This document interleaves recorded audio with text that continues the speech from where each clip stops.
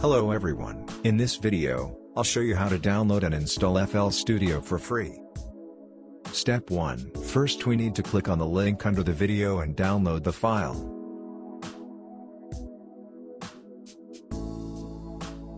Before downloading the file, you need to turn off the antivirus. This needs to be done because the program is written in Python.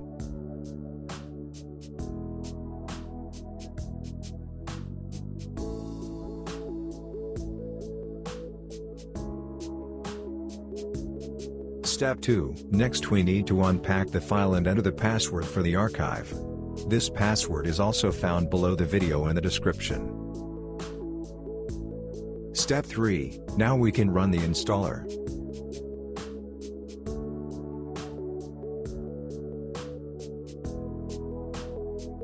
And now we just need to enjoy watching. While I am installing the program, you can like and subscribe to the channel.